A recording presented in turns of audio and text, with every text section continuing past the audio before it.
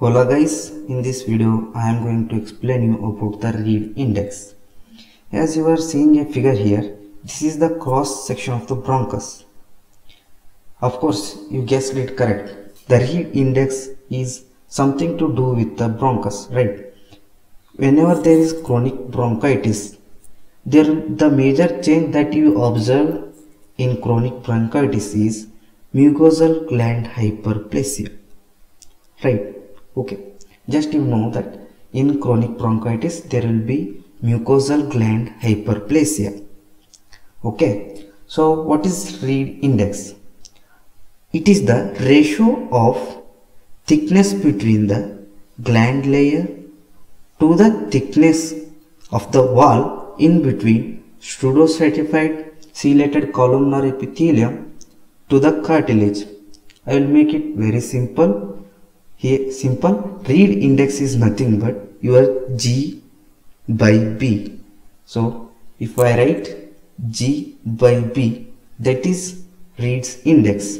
As I said in chronic bronchitis there is mucosal gland hyperplasia as you can see here.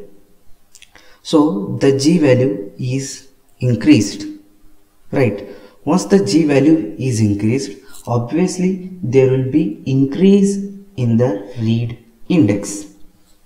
Okay?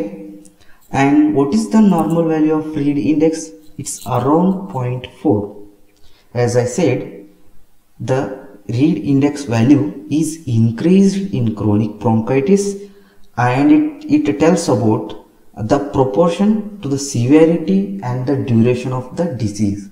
As the disease progresses and becomes more severe. There is more proliferation of, of the glands proliferation of the glands and there is more hyperplasia. And there is increased G value. So there is increased Reid index. This is all about Reid index. I hope you come to know something about Reid index uh, and if you have any doubt just drop down them in the comment box. Uh, I, I am always happy to read those comments